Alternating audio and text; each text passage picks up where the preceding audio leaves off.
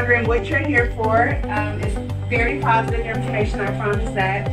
I don't often get to talk to students where the word and the message is you get to come to Avila University without cost.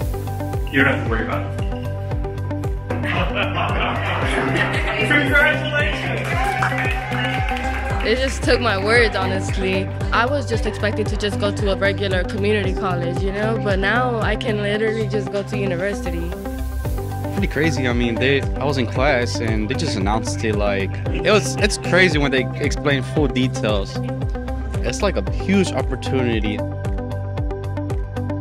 It, it really means so much to me because I was struggling on figuring out how to pay for college, which is why I was going to go to a community college.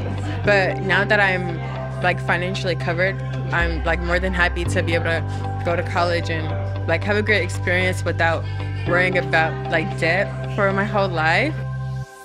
If I would to go to Avila, I think it means really a lot because no one else, I mean, not everybody get this opportunity. This is for all four years.